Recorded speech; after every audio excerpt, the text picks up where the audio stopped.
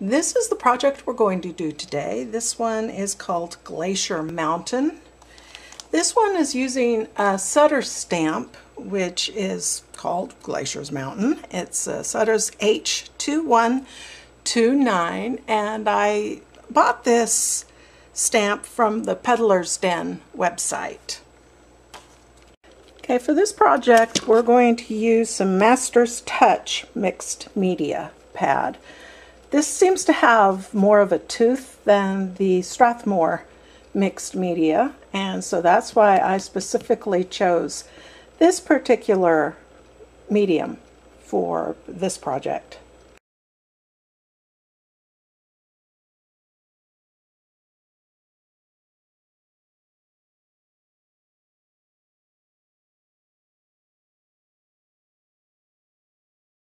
Okay, so I'm going to stamp it with some Versamark.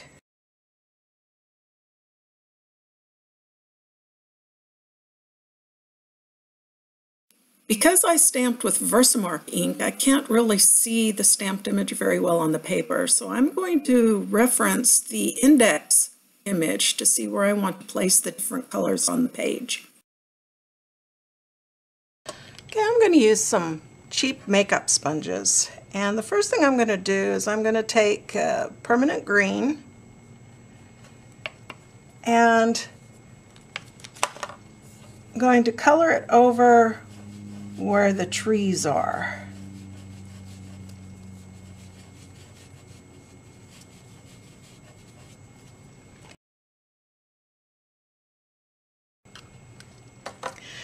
And now I'll use some permanent green shade, which is a darker green color. Okay, next I want to color in the mountain area. And so I'm going to use burnt sienna and burnt sienna shade. So I'll get a new makeup sponge and I'll take the lighter color and just start going over the mountain area.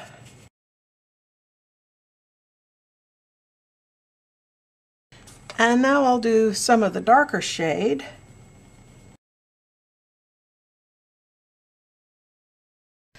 All right, and for the sky, I'm going to use some Phthalo Blue tint and some Phthalo Blue. And so we'll start with a clean sponge and put the lighter tint on first. Okay, and now I'll use the darker blue.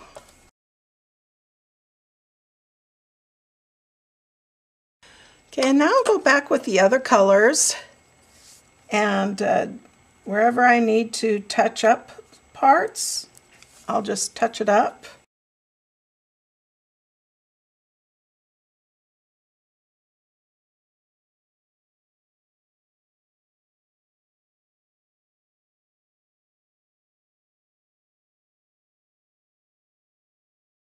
Okay, now I'm going to take just a very, very, very light amount of my colorless blender